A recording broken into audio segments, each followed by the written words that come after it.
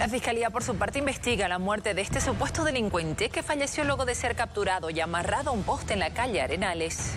Las investigaciones van a, van a develar estos aspectos, toda vez que mm, lo que se tiene inicialmente es que se suscita un robo en un celular,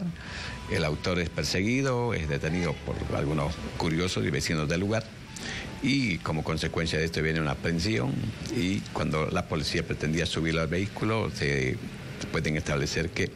el sujeto estaba sin vida. Eh, la autopsia va a determinar de manera cierta cuál es la causa de la muerte y a partir de ello estaremos ya determinando lo que corresponde. Fíjese que la víctima, eh, de acuerdo al informe policial, una vez recuperado el teléfono se retira, no tiene ningún interés en el proceso, pero también está sancionado el homicidio.